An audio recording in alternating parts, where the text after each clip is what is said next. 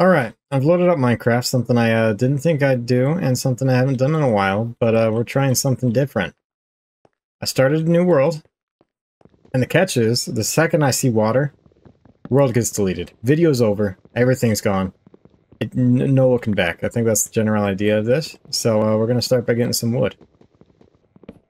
Oh, that should be more than enough. Make some, uh... Make a workbench. Yep, I remember how to do that. Toss it down.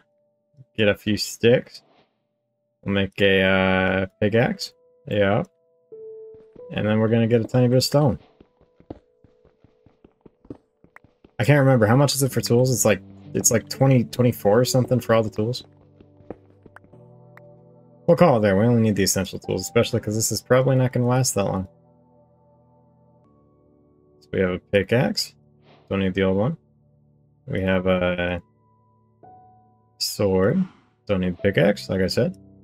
We have an axe. Don't need the pickaxe, like I said. And we'll call the rest good. Oh my gosh, this, how do I throw this? There we go. Go away. There we go, basic tools. We're already off to a strong start.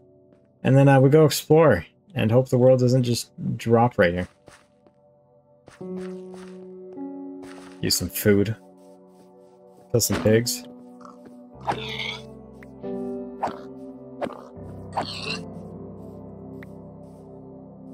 There we go.